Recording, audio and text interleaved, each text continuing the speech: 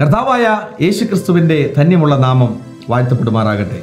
സമാധാന സന്ദേശത്തിലൂടെ എന്നെ ശ്രദ്ധിക്കുന്ന എല്ലാ പ്രിയപ്പെട്ടവർക്കും വീണ്ടും വരുന്നവനായ ക്രിസ്തുവേശുവിന്റെ നാമത്തിൽ എന്റെ സ്നേഹവന്ദനം. യോശുവയുടെ പുസ്തകം പത്താം അധ്യായം അതിന്റെ പതിനാലാം വാക്യം. യഹോവ ഒരു മനുഷ്യന്റെ വാക്ക് കേട്ടനുസരിച്ചതുപോലെ അതിന് മുൻപും പിൻപും ഉണ്ടായിട്ടില്ല.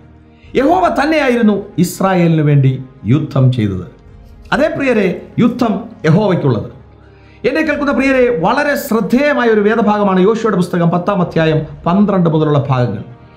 അതിശക്തമായ ഒരു യുദ്ധം നടക്കുമ്പോൾ ഒന്നുകൂടെ പറഞ്ഞാൽ അമോര്യ സൈന്യത്തെ ഇസ്രായേൽ മക്കളുടെ കയ്യിലേൽപ്പിച്ച ആ ദിവസം യുദ്ധം നടക്കുന്ന ദിവസം ഒരു രാത്രി അവസാനിക്കാൻ പാടില്ല എന്ന വലിയ ആവശ്യം നിൽക്കുമ്പോൾ സൂര്യ നീ ഗിബയോനിലും ചന്ദ്ര നീ അയ്യോലാൻ താഴ്വരയിലും നിൽക്ക എന്ന് പറഞ്ഞപ്പോൾ ദിവസങ്ങളെ മാറ്റിമറിക്കുന്ന രണ്ട് ഗോളങ്ങൾ ആകാശത്തിൽ നിശ്ചലമായതുപോലെ എന്നെ കേൾക്കുന്ന പ്രിയരെ ചില വിഷയങ്ങളുടെ നടുവിൽ ചില പ്രതിസന്ധികളുടെ നടുവിൽ ചിലതിനെ നിശ്ചലമാക്കുവാനുള്ള അഭിഷേകം ദൈവം നമ്മുടെ മേൽ കൈമാറിയിട്ടുണ്ട്.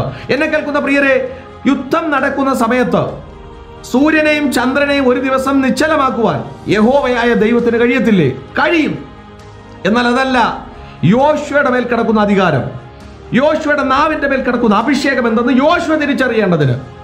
യോശുവയുടെ വാക്കിനാൽ ചിലത് സംഭവിച്ചതുപോലെ. പ്രിയരെ ഈ സന്ദേശം കേൾക്കുമ്പോൾ നാം പുറത്തോട്ടിറങ്ങി സൂര്യനെയും ചന്ദ്രനെയും നിശ്ചലമാക്കുക എന്നുള്ളതല്ല അതിന്റെ അർത്ഥം.